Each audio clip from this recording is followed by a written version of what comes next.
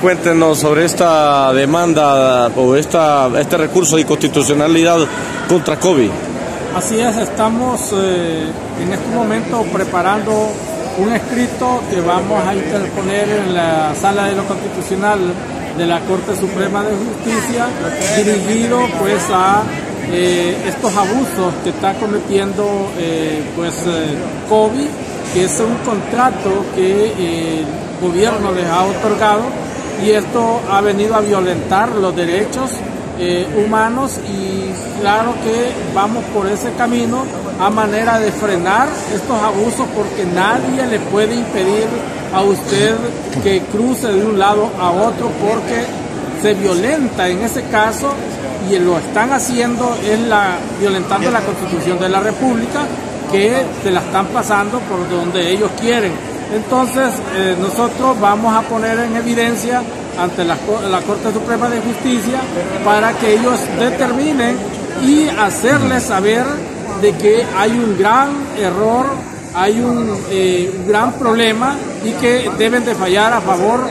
de los ciudadanos porque eh, debería pues de buscársele una solución a este problema. Si vea usted los antecedentes, ya en San Pedro Sula quemaron varios peajes y están otros que están cobrándonos y cobrando la cantidad desproporcionada. Entonces, eh, si usted no, no, no, paga, entonces no lo dejan pasar con su producto. Entonces, si no lo dejan pasar, que deben de tener una eh, calle alterna para que usted pueda pues eh, ver por dónde y escoja por dónde se quiere ir. Pero de lo contrario,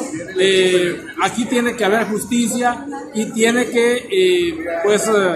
valer los derechos de la mayoría como lo están reclamando. En otro tema, los, eh, la nueva implementación de plan de arbitrios en diferentes municipalidades tiene preocupados a muchos, ya que son grandes cantidades de impuestos que cobran al margen de la ley. Así es, y aquí eh, es un llamado a la Fiscalía del Consumidor del Ministerio Público para que eh, se proceda o si no, el, la Fiscalía contra la Corrupción para que proceda de oficio a investigar a estas municipalidades porque entiendo de que estos cobros no están dentro del plan de arbitrios. El plan de arbitrio debe contemplar eh, la tasa de interés de, de, algunas situaciones que se deben de cobrar, pero eh, debe ser al margen de la ley, pues, o sea, dentro de la ley.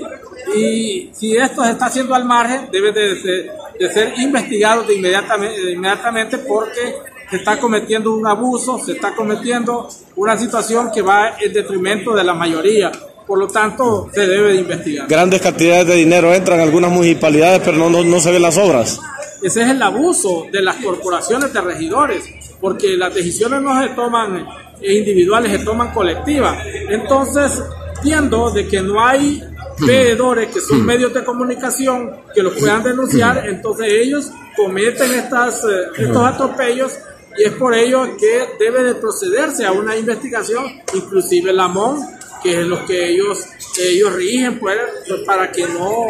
no cometan estas arbitrariedades, pero en todo caso es el Ministerio Público.